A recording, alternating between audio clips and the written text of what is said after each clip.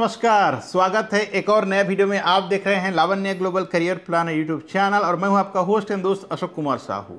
और आज आपका सपने को पूरा करने के लिए मैं आज का वीडियो लेके आया हूँ, क्योंकि मैं जानता हूँ आप में से बहुत मेरा व्यूअर जॉब सीकर्स हैं। बहुत लोग सिर्फ़ इन्फॉर्मेशन लेने के लिए वीडियो देखते हैं और उसमें से ज़्यादा लोग चाहते हैं कि वो भी जॉब के लिए अप्लाई करें, विदेश में जाकर सेटल हो जाएँ। और आज जो मैं कंट्री के बारे में आपको बताने जा रहा हूँ वो है लग्जमबर्ग। अगर आप लग्जमबर्ग में जाके जॉब करना चाहते हैं तो आज मैं आपको बहुत सारे वैकेंसीज के बारे में बताने जा रहा हूँ। साथ ही साथ आपको ये बताऊँगा कि क्या क्या फैसिलिटीज़ आपको मिलने वाले हैं, कौन सा जॉब्स है और कौन कौन इसमें अप्लाई कर सकता है, कितना दिन का प्रोसेस है, कितने रुपए को खर्च करना होगा, इन तमाम चीज़ों के बारे में मैं आज विस्तार से बताने वाला हूँ। अगर आप भी एक जॉब सीकर हैं और लग्जमबर्ग में जाकर काम करना चाहते हैं तो आपको ये पूरा भीड़ देखना चाहिए। क्या आपको पता है कि लग्जमबर्ग में सबसे ज़्यादा सैलरी मिलता है दोस्तों? जैसे कि अगर आप जाते हैं माल्टा या क्रोएशिया या ग्रीस तो आपका जो सैलरी या कोई और यूरोपियन पार्ट में जाते हैं तो आपका सैलरी लगभग 800 से 900 यूरो के बीच रहता है। लेकिन बात करें लग्जमबर्ग का तो लग्जमबर्ग में दोस्तों आपका सैलरी शुरुआत होता है 1600 यूरो से लेकर के लगभग 3600 यूरो तक का सैलरी है। अगर आप इंडियन रुपी में इसको कैलकुलेट करें तो मोर देन डेढ़ लाख से लेकर के पाँच लाख महीने का आप कमा सकते हैं। लेकिन आपका प्रोफ़ाइल मैचिंग होना चाहिए। तो सबसे पहले आपको बताने जा रहा हूँ मैं कि कौन कौन सा जॉब्स का अभी वैकेंसीज हैं। और ये ऑनलाइन अप्लाई करने के लिए बिल्कुल नहीं है। अगर आप इंटरेस्टेड होंगे अप्लाई करने के लिए तो ये जो नीचे नंबर दिया गया है, इस नंबर पे कॉल करें। नंबर पे कॉल करके आप अपना करियर काउंसलिंग का स्लॉट बुक करें। आप सीधा सीधा मेरे से डायरेक्टली काउंसलिंग ले सकते हैं। जो आधा घंटा से 45 मिनट का सेशन होता है। ये डिपेंड करता है आपका डाउट और क्वेश्चन के ऊपर। ठीक है? तो देर न करें, फ़ोन उठाएँ, इस नंबर पे कॉन्टैक्ट करें और अपना स्लॉट बुक करें। आगे बढ़ते हैं दोस्तों। जैसे कि मैंने कहा कि कौन कौन सा वैकेंसीज है, सबसे पहले बताता हूँ मैं आपको क्लीनर जॉब अगर आप टेंथ पास हैं, दसवीं पास हैं और आप एज ए क्लीनर जाना चाहते हैं तो आप जॉब के अप्लाई कर सकते हैं। क्लीनर का जो जॉब है दोस्तों, इसमें जो सैलरी का बात करें तो सैलरी 1700 यूरो से लेकर के 2200 यूरो है दोस्तों। आगे बढ़ने से पहले बता दूँ मैं, इसमें आपको सारे फैसिलिटीज़ मिलेंगे। फ़ूड का आपको अलाउंस दिया जाएगा एकोमोडेशन बाय कंपनी और बाकी सारे फैसिलिटीज़ आपको मिलने वाले हैं। बात करें वेटर पोजीशन का तो वेटर पोजीशन की जो सैलरी है वो 1600 से लेके 2000 यूरो का सैलरी है दोस्तों। और बाकी सारा फैसिलिटीज़ इसके अलावा आप tips service charge incentive overtime अलग से कमा सकते हैं. बात करें शेफ का तो शेफ में बहुत सारी कैटेगरी हैं. Commis two commis one D C D P C D P C D C executive chef इसमें का जो सैलरी की बात करें 1600 से लेकर के तीन हज़ार यूरो के बीच आपका सैलरी मंथली होने वाला है. इसमें और वैकेंसी है, चाहे आप मैनेजर का कहें सुपरवाइजर का कहें, अगर मैनेजर की बात करें तो मैनेजर का सैलरी बहुत अच्छा खासा है। मैनेजर का सैलरी जो दोस्तों तीन हज़ार यूरो से लेकर के चार हज़ार पाँच सौ यूरो के बीच रहेगा।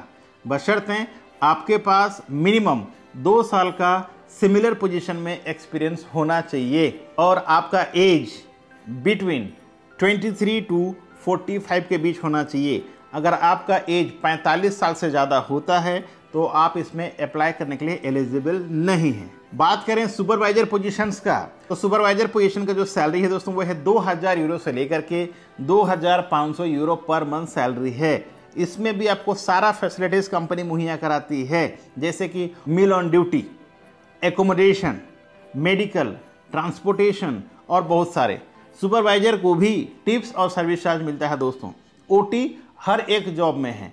अगर आप ओवर टाइम करना चाहें आठ घंटा से ऊपर काम करना चाहें तो आप ऊपर काम कर सकते हैं। उसका अलग से पेमेंट मिलने वाला है। और सबसे जो आखिरी बात करते हैं वो है पैकिंग हेल्पर जॉब के लिए। बहुत लोगों को पता होगा पैकिंग क्या होता है, ठीक है? आप यहाँ पर्टिकुलर कोई वस्तु नहीं है जो एक ही चीज़ का आपको पैकिंग करना है। इसमें आपको मल्टीपल ऑप्शन दिया जाएगा पैकिंग के लिए। आपको रेडी रहना है। पैकिंग का मतलब होता है बॉक्स में पैक करके सील प्रॉपर करना है। ठीक है, हालाँकि उसमें मशीन रहता है, मशीन के द्वारा आपको सब काम करना होता है। अगर आपको कोई डाउट्स है पैकिंग को लेकर के तो मैं सजेस्ट करूँगा कि आपको यूट्यूब में जा करके एक बार पैकिंग का वीडियो ज़रूर देख लेना चाहिए। आपको समझ में आ जाएगा कि पैकिंग का जॉब होता क्या है। आपको समझने के लिए आसान हो जाएगा। तो मैंने आज आपको सब कुछ बता दिया कि कौन कौन सा वैकेंसीज है क्या क्या सैलरी है राइट कौन इसमें अप्लाई कर सकता है।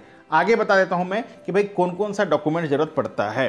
तो जैसे ही आप मन में सोच लेते हैं कि आपको लग्जमबर्ग जाना है तो सबसे पहले क्या करें? पीसीसी अप्लाई करें। पुलिस क्लियरेंस सर्टिफिकेट और जैसे आपका पीसीसी आ जाता है, इसे अपोस्टाइल भी करा लें। ओके? वो होने के बाद आपको आपका पासपोर्ट का पूरा कॉपी आपका एजुकेशन सर्टिफिकेट का स्कैन कॉपी आपका जितना भी एक्सपीरियंस होगा, उसका स्कैन कॉपी एक पासपोर्ट साइज़ फोटोग्राफ और आपका पासपोर्ट का शुरू से लेकर आखिर तक प्रॉपर स्कैन कर लीजिए। ठीक है? और करके डॉक्यूमेंट्स बना लीजिए।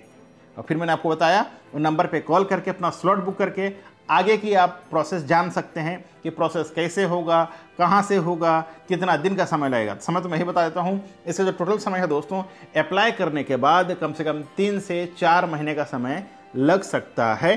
कभी कभी पाँच महीना भी लग जाता है। लेकिन अप्लाई करने से पहले पीसीसी अप्लाई कर लीजिए। अगर आप सीरियस हैं, अपना करियर को लेकर के जॉब्स को लेकर के इनकम को लेकर के, क्योंकि ऐसा मौका आपको बार बार बिल्कुल नहीं आएगा।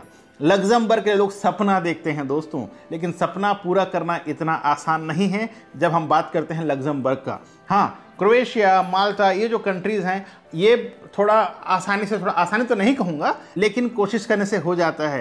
लेकिन मैंने देखा है मेरा करियर में, लग्जमबर्ग के लिए लोग बहुत कोशिश करते हैं, हो नहीं पाता है। लेकिन इस बार आप मेरे साथ कोशिश करें, आपका काम पक्का होने वाला है दोस्तों।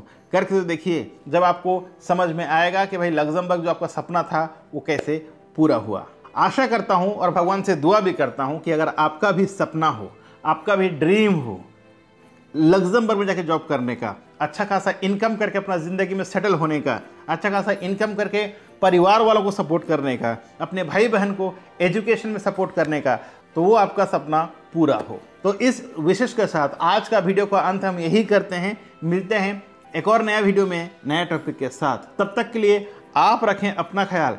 लेकिन जाते जाते एक बात बोलूँगा, अगर आपके मन में कोई दुविधा, कोई क्वेश्चन हो तो नीचे कमेंट बॉक्स में कमेंट्स ज़रूर कीजिए। मैं कोशिश करूँगा जल्द से जल्द आपके जो भी क्वेश्चन होंगे, उसका आंसर करने के लिए।